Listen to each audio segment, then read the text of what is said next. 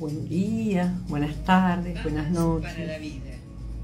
Virginia Gawel, licenciada en psicología, directora del Centro Transpersonal de Buenos Aires. Hola, hola. Te brinda herramientas para tu desarrollo cotidiano. Buen día, ahí van llegando en este día de abril de 2024. Gracias por estar.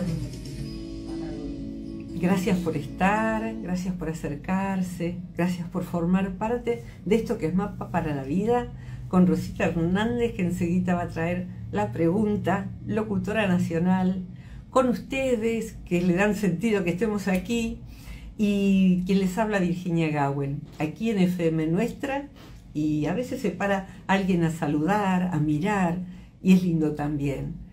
Em, el tema de hoy es un tema muy importante y llama la atención que eh, no lo hayamos tocado antes y que tampoco se hable sobre esto. El tema es el duelo por una amistad perdida. Elegí ponerle ese título porque no es necesariamente el duelo por un amigo que murió. Lo que se pierde es la amistad. Puede ser por causa de fallecimiento, pero también puede ser que lo que se disuelva sea la amistad, y el amigo no, la persona que fue amiga está allí, en nuestro vecino, la cruzamos cada tanto, está en nuestra familia o no, o ya no la vemos más. Y sobre esto vamos a hablar hoy. Eh, me han recordado que comente ahora a la mañana y si bien no me da, me da cosa, lo voy a hacer. El 6 de mayo comienza la próxima actividad online, que es un curso de dos meses para comprender y recordar los sueños desde una mirada que integra Oriente y Occidente. Es online y son bienvenidos desde cualquier lugar del mundo. Esto lo van a encontrar en la página del Centro Transpersonal de Buenos Aires o pone un mensajito acá que diga curso y eh, Euge les pasa la info. Y vamos sí ahora a la pregunta de hoy.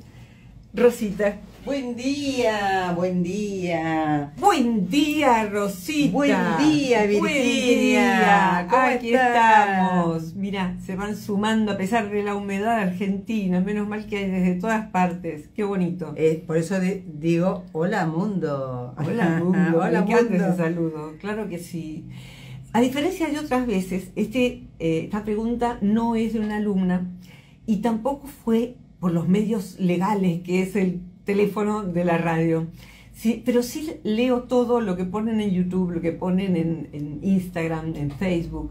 Y alguien dejó esto en Instagram y digo, es cierto, nunca hablamos de esto y tomé conciencia de lo poco que se habla de esto, que es muy importante, la pérdida de una amistad y el duelo que involucra. Así que aquí tenemos la pregunta. Así es.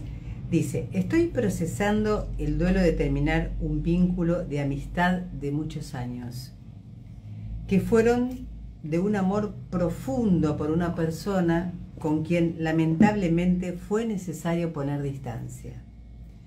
Esto ha representado una tristeza silenciosa para mí por mucho tiempo y hoy comprendo que se gestó largamente eh, no pueda resolverse en unos meses, o sea, esa es la cuestión, que se ha gestado largamente y que no se pudo resolver en unos meses.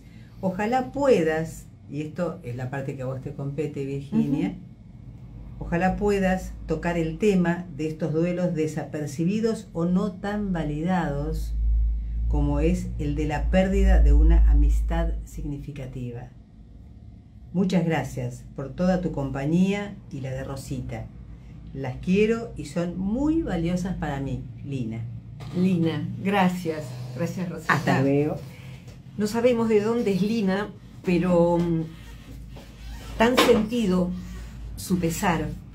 La pregunta o la, el planteo era más extenso y en él involucraba la idea de que eh, es una amistad de muchos años y ella por lo menos se percibe de una edad avanzada, en donde de ahí, de ahí tiene la idea de que no es fácil generar nuevas amistades.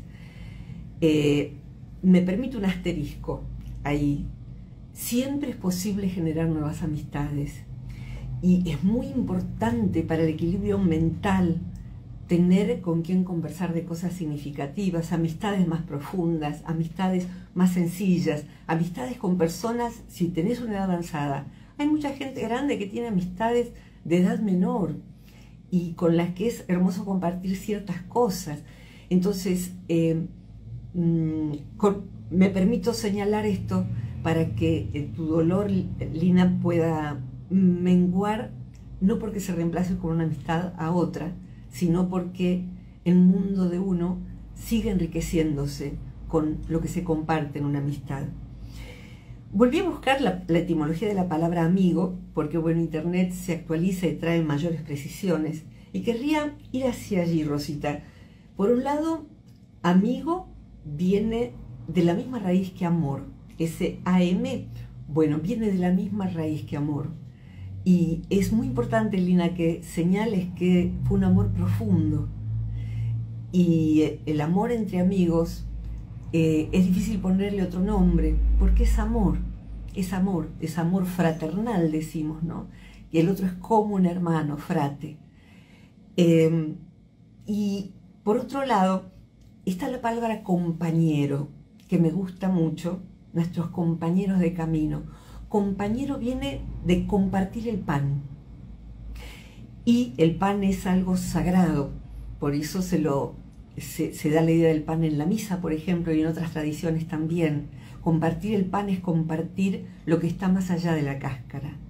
Entonces, qué curioso que no tenga un espacio la muerte de un amigo. Voy por ese lado primero. Pero como les digo, duelar la pérdida de una amistad puede ser a través de una muerte, puede ser a través de un alejamiento emocional. Son tres, posibilidades. Alejamiento emocional o alejamiento de hecho. Las personas no se hablan más, no comparten más. Alejamiento emocional quiere decir que fuimos profundamente amigas, amigos y tenemos para compartir la familia o tenemos el mismo ámbito de trabajo, pero la amistad se rompió. Y es muy doloroso en vez de ir a almorzar todos los días juntos o compartir las cosas importantes que pasaban el fin de semana, eh, esa distancia que puede conservarse por años. Y hay que trabajar sobre eso para que no sea lacerante, para que no sea algo que se va profundizando día tras día, ese dolor. En general, curiosamente, no es raro que el, duelo por pérdida física eh, de la persona que fallece sea más sencillo, no digo fácil, ¿eh? más sencillo, más límpido para transitar que cuando la persona corta el vínculo, sobre todo si es el otro el que lo corta, o se conserva la indiferencia emocional. Allí es, como, es esto. Eh, si tienen ganas, después buscan en Instagram, eh, un poquito antes, el viernes pasado, compartí eh, en la pausa de los viernes con Vivir Agradecidos, pero está en mi cuenta de Instagram, el tema de poder convivir con cosas que nunca hemos llegado ni llegaremos a entender. ¿Por qué se rompió la amistad? ¿Qué te pasó? ¿Qué dije? ¿Qué hice? Y eso, cuando no se lo sabe, sigue dando vueltas, dando vueltas, y es natural porque, fíjense esto, esta pequeña, sencilla imagen hecha en mi borrador. Qué borrador de lujo, ¿eh? Eh de PowerPoint. Em, propenderíamos a querer cerrar este círculo. Todo lo que no está comprendido lleva a que, por ejemplo, tengamos sueños que tratan de cerrar esto por años, de años, de años que tengamos síntomas, que tengamos recuerdos, que tengamos rumiación mental. Pero si yo no le hice nada, con todo lo que le di, yo estuve cuando su papá murió y ella ahora y él, todo eso requiere de ayuda terapéutica, requiere que podamos hablar con otros amigos. Y para nosotros, los que no somos la persona que ahora está duelando la pérdida de una amistad, percatarnos de que el otro la está pasando muy mal, de hecho, no hay, eh, por lo menos en Argentina y en la mayoría de los países, no hay un, eh, un, día que la persona pueda tomarse para elaborar el duelo, que sí sucede con pérdida de padres, de hermanos, eh, de, familiar cercano. No hay asuetos de licencias que puedan pedirse porque ha muerto un amigo. Y sin embargo, puede ser a veces mucho más profundo que un hermano donde se crecieron desparejos, donde no hay comunicación, donde, bueno, nos criamos juntos, no es mi caso, pero a veces sucede que hay hermanos que no son indiferentes y a veces peor, porque es así el vínculo. Entonces, es importantísimo. Si alguien está pasando por esa circunstancia y vos lo sabés, acércate. A veces no nos damos cuenta de lo de que el otro está atravesando un duelo y a veces muy a posteriori nos damos cuenta. Yo esta semana me di cuenta de no haber acompañado a una amiga en la muerte de su padre hace cinco años, no haber estado lo suficiente, no haber viajado para verla. No pude, se ve que estaba abstraída en mis problemáticas y siento que para mí es tan importante el acompañar en duelos como tema y como acto, no estuve a la altura y le dejé un mensaje pidiéndole disculpas retrospectivas y me parece que hay que hacerlo. Permiso. Entonces, cuando el duelo es por un alejamiento afectivo, las emociones que se pueden mover son a veces más intensas que con la muerte. En la muerte del amigo hallamos, me, viene ahora Rosita a, a, Miguel Hernández cuando habla de, del amigo muerto, ¿no? Quiero escarbar la tierra con los dientes, quiero, quiero limar la tierra hasta encontrarte y besarte la noble calavera y desamordazarte y besarte y abrazarte.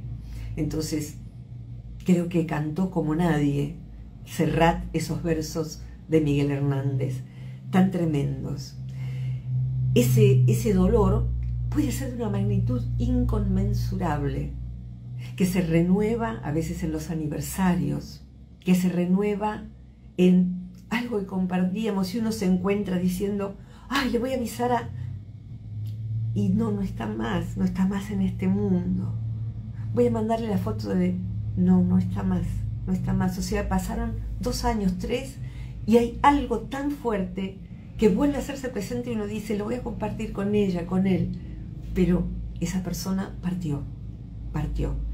No es diferente si ya no está en nuestra, en nuestra vida, pero vamos en un ratito a eso.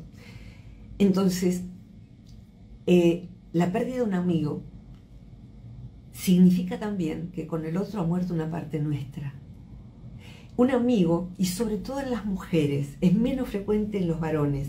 Los varones tienen otros códigos de amistad y nosotras, todavía en 2024, somos nosotras las que nos reunimos más frecuentemente a hablar de lo que nos pasa, a compartir sentimientos íntimos, a hablar de cosas de nuestra infancia, de nuestra adolescencia, o haberla compartido desde entonces y a la amistad dura 50 años y un día se rompió. Entonces, el amigo es un backup nuestro. ¿Qué es un backup? Muchos deben saberlo, en un celular o en una computadora. El backup es por ejemplo, un disco externo o una nube que contiene toda mi información, toda, todo lo que yo escribí hace 10 años, todas las fotos que saqué, todo está allí. Entonces es responsable hacer un backup de nuestra compu por si algo le pasa a la compu, que rescatemos la información. Bien, nuestro amigo es un backup. Están todas mis memorias en su memoria. Entonces cuando el otro se distancia, se lleva consigo mi información vulnerable.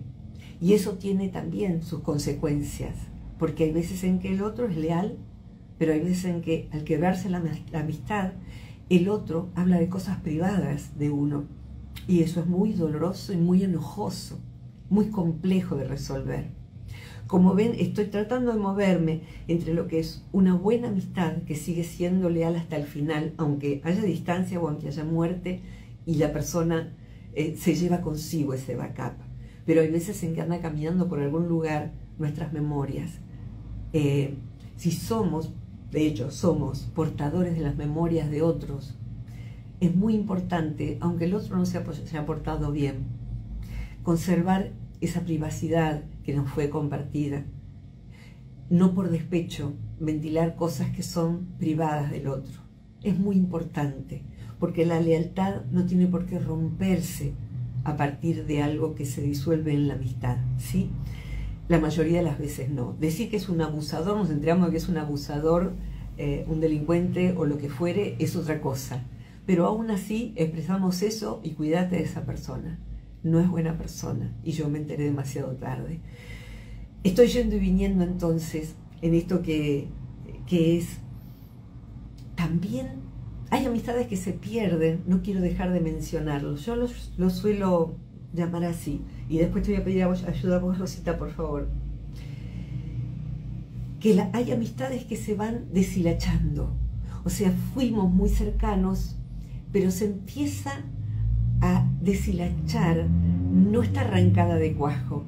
Quedan hilitos y dejamos un mensaje y el otro contesta, o el otro nos deja un mensaje y nosotros lo dejamos para después. Nos pasa algo y no se lo compartimos. Hay veces en que eso tiene que ver con desacuerdos.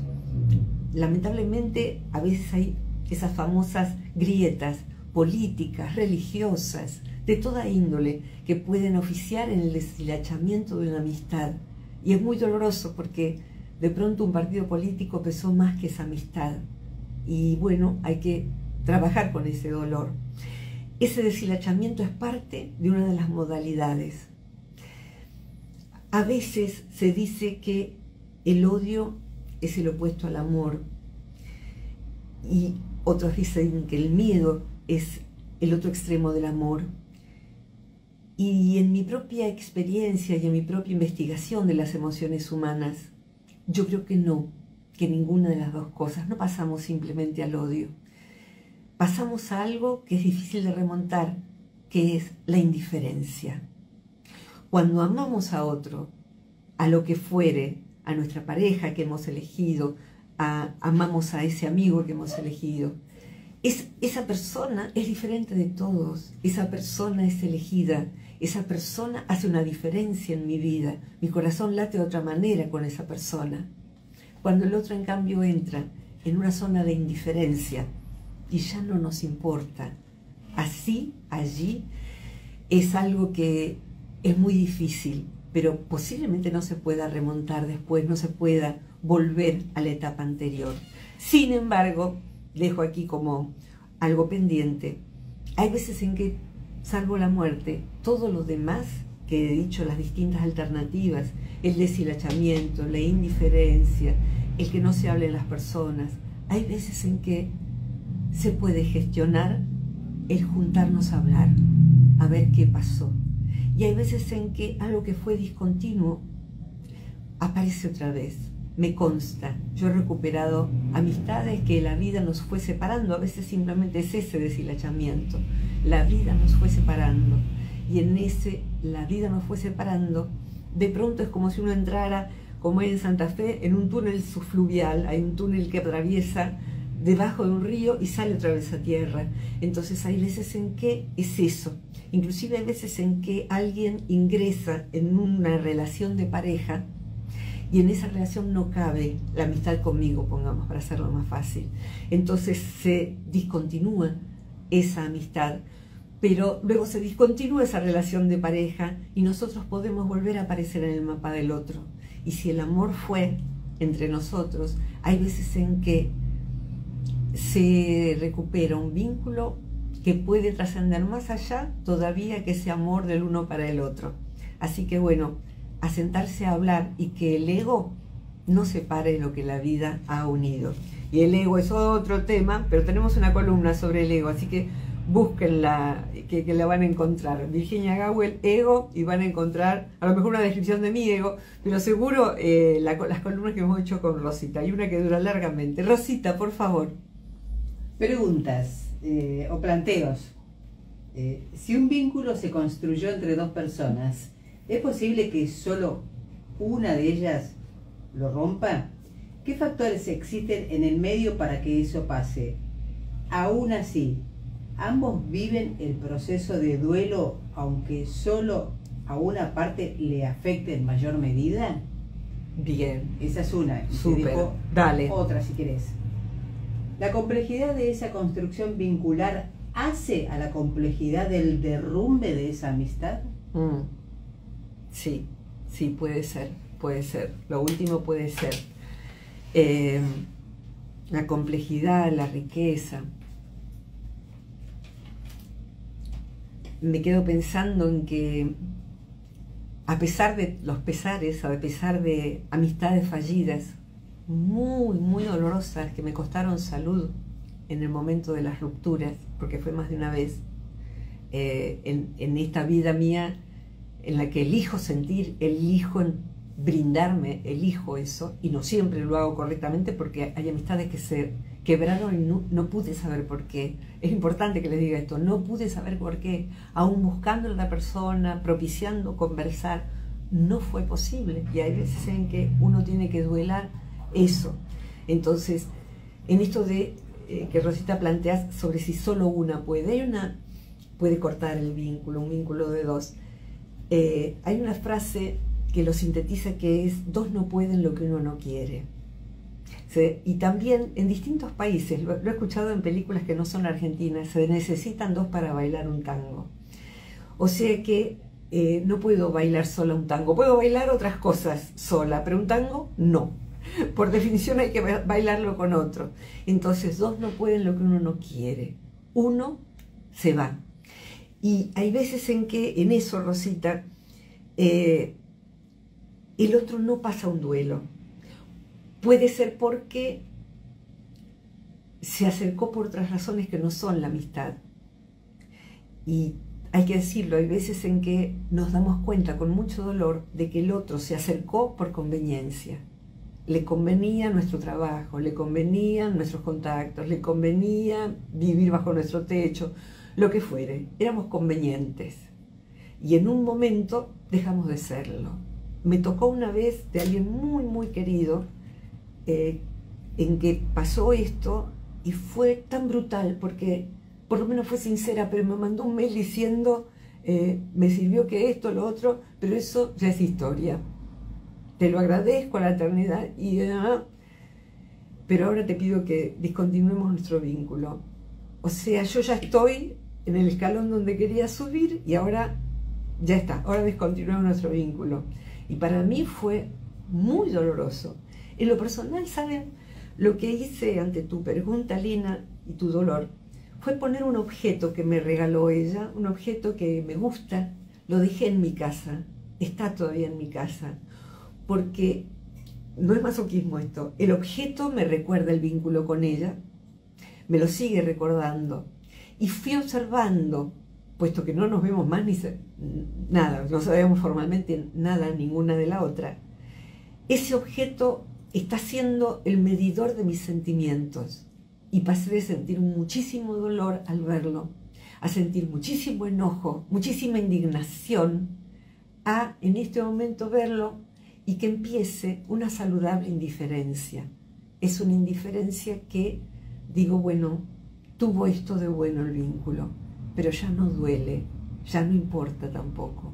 Y sí deseo lo mejor para esa persona, de corazón. Sí siempre decía lo mejor. Nunca me pasó. Con otras personas sí, ¿eh? O sea que no, soy tan bonita como quiera alguno verme. Con otras personas sí, uno se queda deseando. Como cuando éramos chicas, hacíamos no sé qué cruz y raya, y con eso separábamos nuestra amistad y decía que te vaya bien, que te pise un tren, que te deje chato como una sartén. Horrible, pero aprendimos eso de chicos. Ay, señor, ¿de quién lo hemos aprendido? De los adultos. Cáspita. Entonces, bueno, un poco de humor en este tema tan tremendo. Em, procesar, procesar, procesar. Entonces puede ser, es posible que esta persona no haya hecho un duelo porque no había profundidad. Y me viene la imagen de la abeja que cuando clava su aguijón, al sacar su aguijón, al querer seguir volando, se destripa, digámoslo así, aunque es un insecto porque deja el aguijón clavado que es como, una, como un ancla, tiene la forma de, una, especie de ancla. Entonces, al salir, el aguijón queda dentro. En cambio, la avispa es avispada y puede picar muchas veces sin morirse. Hay veces en que ponemos toda la pasión en esa amistad, una pasión de, de entrega completa. Y cuando el vínculo se rompe, nos desangramos, nos destripamos la otra persona picó como una avispa y ahí anda revoloteando y uno juntando las tripas Sí, bueno, nuestra tarea es juntar las tripas, sacar el aguijoncito y tenemos que seguir flotando alrededor de las flores, sacando polen y sintiendo en la colmena qué otros hay de bueno, ¿eh? porque eh, que perdamos una amistad que no nos vuelva escépticos hacia otros afectos de amistad. Eh, es muy importante y yo no voy a permitir que eso suceda en mi vida. No importa quién falle o a quién yo le falle o quién se distancie. Yo he decidido tener amigos, amigas hasta el final. Rosita, ¿quieres agregar algo en lo que, en lo que decías? Eh, en relación a, mientras Rosita vuelve aquí, eh, en las relaciones de amistad, de hermanos y demás, eh, es más fácil, es muy frecuente que se proyecte la sombra. Si ponen Virginia Gowell sombra, van a encontrar columnas y van a encontrar una, una charla que de dos horas. Es un tema apasionante. ¿Qué es la sombra? Lo que yo rechazo de mí.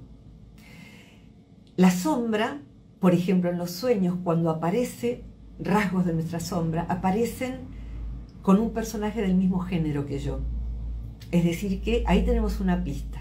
Aparece un personaje del mismo género que yo, con cierta vestimenta, con ciertos rasgos, que lo más probable, es muy probable que represente nuestra sombra, aquellos rasgos que no nos animamos a vivir, aquellos aspectos nuestros que nosotros no queremos asumir. Entonces, lo que hacemos es verlo en el otro. Y así como yo lo rechazo en mí, cuando una amistad se rompe, es posible sobre todo proyectar masivamente toda la sombra y ver en esa persona todo lo que yo creía no haber visto en años. A lo mejor está ahí, pero a lo mejor no, o a lo mejor no en esas proporciones. Entonces, eh, tenemos que tener cuidado de evaluar si pusimos de más en esa persona o si pusimos en esta ruptura rasgos sombríos y nos hemos separado del otro porque en realidad lo que queremos es no tener ese rasgo en la sombra. Ese rasgo a veces puede ser un tema complejo que habría que desarrollarlo en otra columna, Rosita, que es la envidia. Hay amistades que se rompen porque hay envidia. Y el problema no es que haya envidia en una amistad. Es normal. El problema es cuando eso ensucia la amistad. Supongamos algo muy común. Dos amigas, las dos desean tener pareja solo una de ellas tiene pareja. Y encima llega un año después el tiempo vacacional. Y bueno, yo siempre viajaba con ella, no es mi caso, siempre viajaba con ella. Y este año ella viaja con su pareja. Y a uno le toca ir en el asiento de atrás tocando el violín, en el violín una canción romántica que no es para uno. Elaborar esas emociones, poder charlarlas con otra persona. Me siento feliz de que estés viviendo esto. También siento esto otro. Me, me gustaría que me pasara a mí también, pero no me pasa. Entonces, bueno, este rasgo está, no voy a permitir que contamine nuestra amistad, pero te lo tenía que decir. Así que bueno, me pasa esto. Eso no es un asunto que puede echar a perder una amistad. Lo que echa a perder una amistad es el no hablar las cosas claramente. Así que, Lina, es tan doloroso como para la abeja perder sus tripas. Y es tan eh, a largo plazo el duelo puede serlo para la persona que no decidió esa separación, para la que lo decidió. Eh, y tengo que decir también, Rosita, antes de que vos puedas redondearlo, que hay duelos muy cortos en una amistad en donde la ruptura que se produjo permite ver que no era un buen vínculo, que era muy tóxico, que estábamos muy sojuzgados, dependientes o distintas cosas que uno dice, la verdad, lo que siento es alivio. Ay, Dios mío, que estaba vampirizada por esta persona. Entonces, hay veces en que la resultante de un duelo no es el alivio de que ya no sufro tanto algo tan querido, sino que me doy cuenta de que verdaderamente lo que había allí no era una amistad, o no era una amistad saludable, no era una amistad en el mejor real sentido de la palabra. Rosita. Eh, este tema que, hoy propuso Lina me, trae a la memoria eh, una serie que hemos visto, que eran dos amigos, pero que se amaban profundamente, más parecía que era más intenso el de la persona, digamos, entre ambos, la persona que siempre buscaba hacerle daño, pero él siempre le manifestaba, te amo amigo, sos lo mejor que me pasó, pero siempre buscaba hacerle daño. Y entonces uno analizaba la raíz, ¿no? De por qué, si tanto lo amaba, siempre buscaba hacerle daño. Y era porque él siempre quiso ser como su amigo. Ya, y ya. nunca lo había logrado porque no tenía lo que tenía su amigo, que era el amor que lo contenía a su alrededor. Uy, qué importante, es el complejo de Procusto. Eh, es todo un tema, es una modalidad del envidiar, pero donde uno eh, en verdad trata de cortarle la cabeza al otro para que no sea más alto que uno. Y es complicado eso, la competencia entre amigos. Y también hay que observarla, esa competencia, como, todo lo que está sucediendo, ¿no? Eh, es, es importante que se pueda haber plasmado eso en tantas películas y qué cosa que poco, esto, vuelvo a que poco espacio le damos en nuestra vida a ese dolor. Necesitamos, si tenemos amigos que están pasando el duelo por otros amigos, necesitamos acercarnos y preguntarle, ¿podés responderme o no? ¿Cómo va llevando lo de eh, Herminia, que no te hablan más, que no se hablan más, se han vuelto a hablar? Por ejemplo, ¿no? Poder preguntarle al otro, ¿cómo está? Y a lo mejor el otro no quiere contar, pero es valioso saber que hay registro del dolor que me produce. Y me haces pensar, Rosita, en una circunstancia especial que solo vamos a alcanzar en cuanto al tiempo a mencionarla.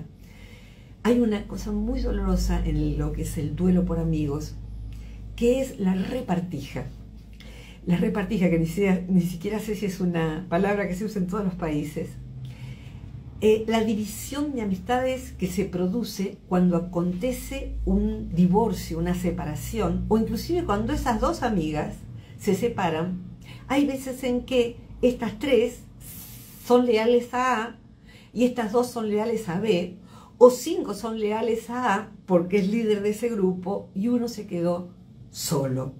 Esto inclusive lo padecen y lo he estado hablando con un amigo justamente el sábado, cuando alguien se retira de un grupo, en este caso un grupo religioso, un grupo sectario, termina siendo una secta, donde el que se va pierde a su referente, que es el guía de cualquier grupo que sea, una secta, una religión, un grupo donde practican determinada cosa como meditación o demás, algo muy espiritual, pero esta persona que se va porque busca otros caminos, no se va enojado, no se va cuestionando.